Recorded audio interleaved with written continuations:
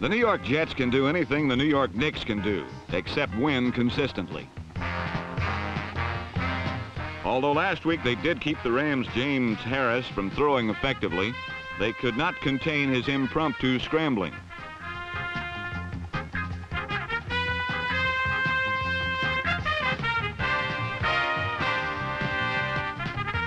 And it was James Harris running that gave the Rams an early 6 to nothing lead.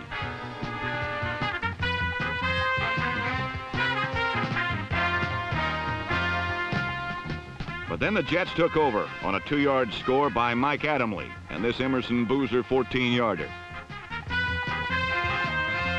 The New Yorkers maintained their 13-6 lead until the fourth quarter on the strength of a gutsy, dusty defense.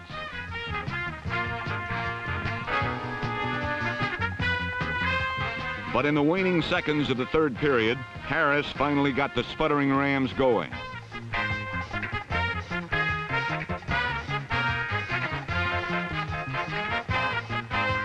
Then on the first play of the last period, Lawrence McCutcheon went in from 23 yards out to tie the score at 13.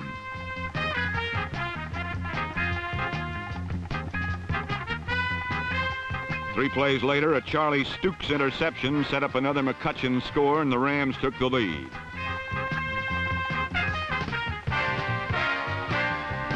Then, as so often happens of late, Joe Namath, in trying to get his team back into the game, was intercepted by number 20, Steve Preece.